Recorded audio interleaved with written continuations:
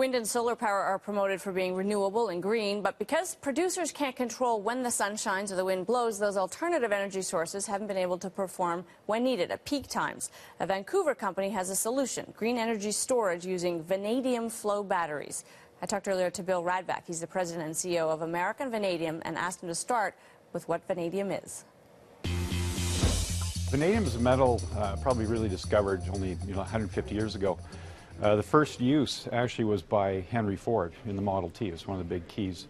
Um, he was actually uh, in France at a car show, a car rally, and a car crashed, and he went by, and it actually stood up extremely well uh, considering the, the force of the impact. And he found out this very light metal contained vanadium. So he was actually uh, introduced it in the Model T as, as one of the components that made it a nice light vehicle. So where people see it today, though, is it's in probably every piece of rebar and structural steel in America. 0.05% uh, content vanadium increase the strength of steel by 50, 100%. So that allows you to have, you know, 30% less steel in your building, yet maintain the structural integrity. So that's that's basically the the widest use of uh, vanadium. And your company has found a deposit of this, uh, but you don't intend to. I mean, I suppose that's a market you'll you'll obviously sell into the steel market, but it's batteries that you're focusing on. Is that right? Right. Um, our project's in Nevada. It's, it's the U.S.'s only vanadium deposit on the horizon. And so we finished a feasibility study a couple years ago based on that classical use, but uh, it's a very, um, very rare deposit. It's a sedimentary deposit. It allows us to use sulfuric acid heap leach, which is a low-cost method. But most vanadium comes from as a byproduct in iron ore mining, so it's a very dirty product and has to go into steel. Uh, can't go into specialty products. Uh, because of our geology, we can produce a very high quality product uh, at very low cost. And what's unique is these new vanadium flow batteries, which were you know, invented 25 years ago, but now they're just being commercialized. And these aren't you know, car batteries or cell phone batteries. These are you know, megawatt size, the size of a shipping container.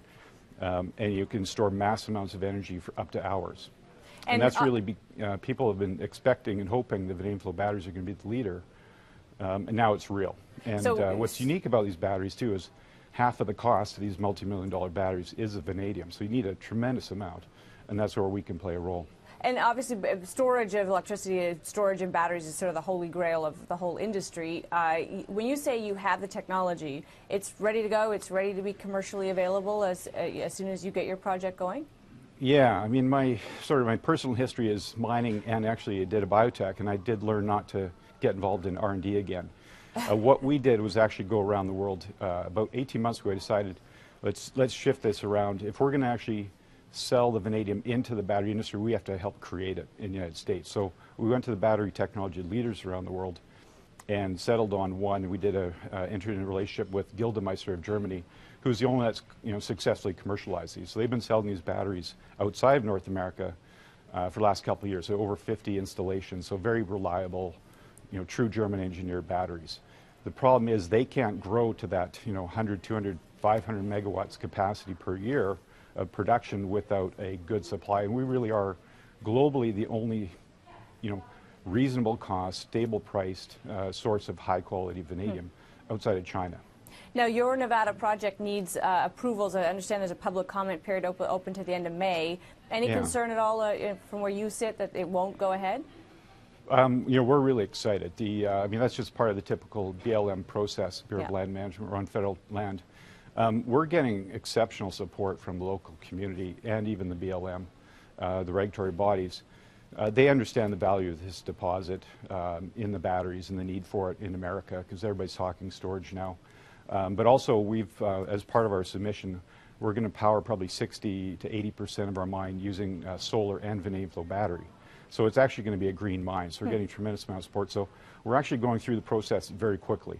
Now, my understanding is that this is a part of a shale deposit. We, we think of shale as now uh, plentiful because of drilling techniques that have unlocked shale gas and uh, forms of oil. Uh, could there be more vanadium elsewhere if it is in shale? Uh, you know, it has occurred uh, in shale in different areas. We've got a very unique deposit. You know, the good thing about Nevada is just very old, uh, exposed rock. So this is very oxidized. Uh, basically, we're moving a, a small mountain. the strip ratio is 0.2, and actually, you know, as prices go up, it's pretty much essentially all ore. and we just put it on a heat, uh, heap leach pad. So it is very unique, and it's not just you know shale is unique, but this heavy oxidized uh, uh, ore body is you know we think you know globally unique. And is it safe to say that this is a Vancouver-based company with a Nevada property because of the Canadian sort of expertise in putting together this kind of financing? Because we're a market that knows how to do these things. Yeah, I mean this this was a project. It was um, owned by Union Carbide and Noranda and Atlas in the past, uh, a number of other small companies, but a group of uh, you know Vancouver uh, mining uh, people put together a shell or a company based on this and IPO'd on this project in about 2006. You know, it had its ups and downs since then. I joined about three years ago to move it forward, uh, but it really is our unique experience at moving you know these kind of early stage projects, being very uh, imaginative, creative in how to get there and, and get the value out of it. Um, and then finding this you know, unique sulfuric acid heap leach uh, method to really drop our operating costs uh, was a real trigger as well. All right, well, we will be watching with interest, Bill. We appreciate you joining us to fill us in. Thank you. Bill Radvak is President and CEO of American Vanadium.